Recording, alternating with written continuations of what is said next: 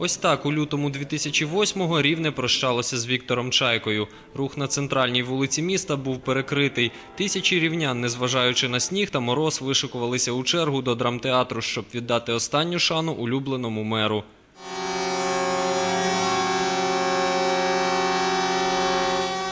Жива пам'ять про людину, яка 19 років очолювала обласний центр і нині. До могили екс-мера на його 70-й день народження прийшли рідні, друзі, колеги. Усі сходяться в одному. Віктор Чайка жив містом і робив усе можливе для його процвітання. при каких-то так, таких семейных м, торжествах, и когда он говорил, я так люблю, мы так с надеждой ждали, или он скажет, что меня любит, или он детей любит, он всегда говорил, я так люблю свой город. Віктор Анатолійович Чайка це був справжній мужчина, який любив життя, професійно виконував свою ділянку роботи, любив е, територіальну громаду, переживав за е, місто.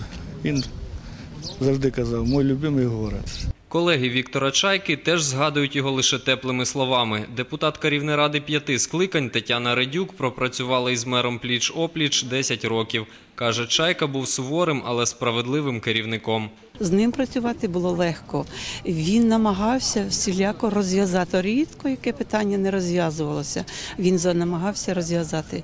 Він був доступний. Він намагався зрозуміти думку іншого, а не тільки свою нав'язати і беззаперечно моя і я. Він не боявся бути неправим у якомусь питанні. Нині на честі екс-мера у місті названо алею Троянд, а на будинку, де він жив, відкрито меморіальну дошку. Вже незабаром іменем Віктора Чайки збираються назвати і новозбудовану 14-ту школу Рівного. Він починав її будівництво в 2002 році. Саме він заклав перший камінь, це була його ідея. І сьогодні, в день народження, погодьтесь, це символічна річ. зак- Завершено будівництво. Сьогодні вже змонтовані парти. Это так трогательно. В общем-то, это так, знаете, просто, но так по-человечески. Нам очень приятно все это. А вот время идет, мне кажется, наоборот, оно не забывается, а все больше хорошего вспоминается о нем. Роман Свирида, Сергій Габрилевич. Інформаційна програма День.